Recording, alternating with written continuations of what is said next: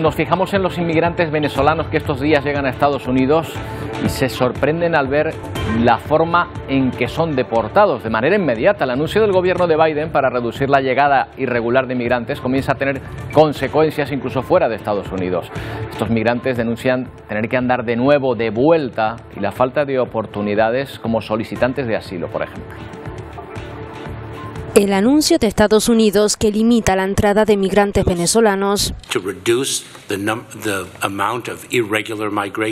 comienza a tener efecto. Este lunes más de 200 familias que lograron entrar de forma irregular han sido deportadas. Yo digo que lo más lógico era que hubiese dado un previo aviso por lo menos decir para la fecha tal ya no, ya no hay paso. Y como Angélica recibe la noticia justo cuando llegan después de caminar semanas y semanas hacia territorio americano. Sin embargo, la gente se viene todavía, viene de la selva pensando que se iba a pasar. Y es mentira.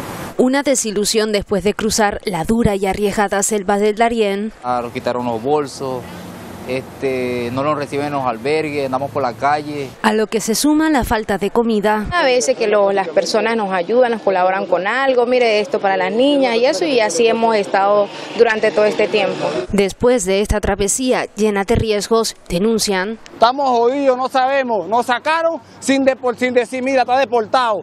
Si nos fueran deportados, que me manden para Venezuela en un avión, yo estuviera tranquilo en Venezuela ya, que me manden para Venezuela, pero nos soltaron aquí en la frontera, ¿qué hacemos? No querer volver por ese complicado camino a pie y muchos tampoco quieren quedarse en México. No es de que vayamos a recibir venezolanos que llegaron a Estados Unidos y de pronto los manden pasan por nuestro territorio y muchos están en nuestro territorio. Solo piden una solución justa, además de reclamar más oportunidades